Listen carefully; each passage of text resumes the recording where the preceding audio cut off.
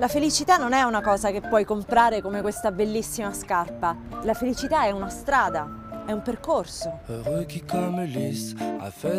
E attraverso questo percorso oggi sono arrivata qui, a San Mauro Pascoli, in Romagna. Questo posto da qualche anno è conosciuto come il distretto della felicità.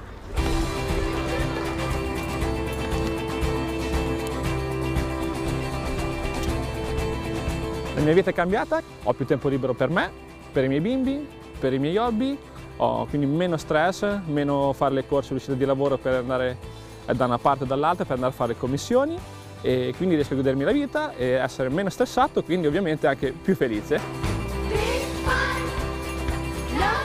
La felicità è avere tempo. Eppure qui non è che si lavora poco. Anzi, siamo in uno dei distretti più produttivi d'Italia. Qui ci sono circa 200 aziende, 4.000 lavoratori e più del 60% è composto da donne. Ed è da una donna che vado, una imprenditrice, per farmi spiegare come si fa a liberare il tempo. Ho cambiato l'orario di lavoro della mia azienda, riducendo la pausa pranzo da due ore a un'ora.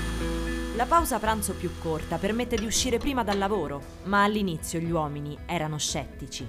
Poi invece quando è stato applicato questo nuovo orario che era principalmente eh, per migliorare la vita delle donne, in realtà è migliorata la vita di tutti e oggi posso dire che nessuno più tornerebbe indietro. Ci credo che nessuno vuole tornare ai vecchi orari di lavoro. Se si finisce di lavorare alle 5 si ha molto più tempo libero a disposizione. Ad esempio Elisa, Erika e Simona stanno uscendo adesso dal lavoro. Voglio andare a seguirle per capire cosa fanno nel loro tempo libero. Fanno quello che vuoi, sì. Eh, alla goccia! È bellissimo, è bellissimo perché ho più tempo per me. Solo un'ora, ma è un'ora che conta tantissimo. Si ha l'impressione di avere tutta un'altra giornata a disposizione posso seguire molto di più i miei genitori che hanno più di 80 anni e quindi a loro capita sempre più spesso di dover essere accompagnati ad una visita medica o a fare qualche commissione. Per fortuna anche gli orari dei servizi pubblici si stanno adeguando a questa nuova esigenza. Qui a San Mauro si può andare dal medico di base alle 8 di sera e pagare una bolletta in banca fino a tardi. E tutto è stato possibile grazie all'intuizione di un uomo, Luca Piscaglia.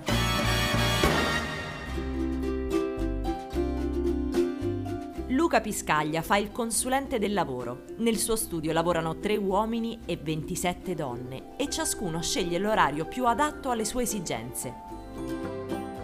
Sto svolgendo un'attività di ricerca, un dottorato in diritto del lavoro all'Università di Siena L'orario flessibile che c'è all'interno di questo studio mi permette di conciliare l'attività del praticantato con l'attività di studio e di ricerca inoltre Luca mi dà la possibilità di andare a Siena quando, quando ne ho bisogno.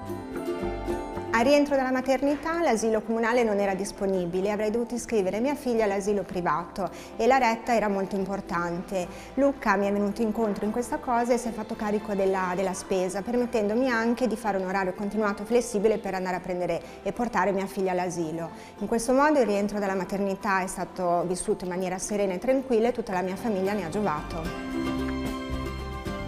È arrivato il momento di farvi conoscere Luca, l'uomo che ha liberato il tempo.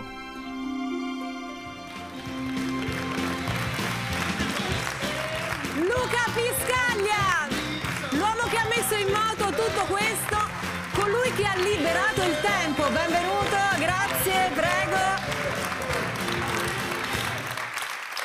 Luca Piscaglia, Lucia Mascino per provare a capire questa rivoluzione che ha portato a un distretto, un posto che si può definire distretto della felicità, perché un lavoratore felice è un lavoratore che rende di più, questo è un po' il tuo motto? Questo sicuramente, questo è l'inizio di tutto, è riuscire a mettere al centro la persona che c'è dietro il lavoratore. Perciò se metti al centro la persona, stai attento alle sue esigenze e lui affronta il lavoro in una maniera completamente diversa. Si sente partecipe, si sente coinvolto, si sente vivo nel lavoro che fa e ne giovano tutti, ne giova l'azienda, ne giova lui, ne, gio ne, ne, ne giova la famiglia, ne giovano tutti. La felicità è avere tempo, Lucia? Beh, sicuramente avere il tempo in un ritmo che ti si confà, nel senso che ognuno ha un suo ritmo. E questa cosa, per esempio, che voi avete fatto, cioè, dovrebbe essere fatta dappertutto, ma penso anche il fatto di precipitare la mattina, per esempio, alle sette e mezzo, precipiti, vesti i figli, va, li porti a scuola. Ma è una violenza ogni mattina che dici, ma un pochino, ma appena dopo, no? Per tutti, no? ma saremmo tutti più contenti, penso, non lo so. Sono, sono quelle cose che dici, no? Sono quelle cose che dice Lucia, così istintive, naturali, eppure invece eh, ci arrabattiamo, come sa bene appunto la protagonista sì. di Mamma sì, Imperfetta esatto. che citavia, citavamo, Chiara, che deve solo correre per solo la notte, continua a correre, sì, no? non si ferma mai. Come, voi come ci siete arrivati? Cioè perché voi ce la fate, ce l'avete fatta? Noi siamo in cammino, non siamo arrivati in fondo. La prima cosa che abbiamo fatto è stata quella di, prima di tutto, cambiare gli orari e cambiare gli orari in un, in un comprensore come il nostro, che era così da, da 50 anni, non è stato facile. Eh Quando siamo partiti, all'inizio abbiamo anche fatto un sondaggio, grazie a una collaborazione con Italia Lavoro, e abbiamo intervistato quasi 700 persone. Queste 700 persone ci hanno detto il 60% che non volevano cambiare. Il 40% sì. Chi voleva cambiare? Nei 40% erano le donne e i giovani.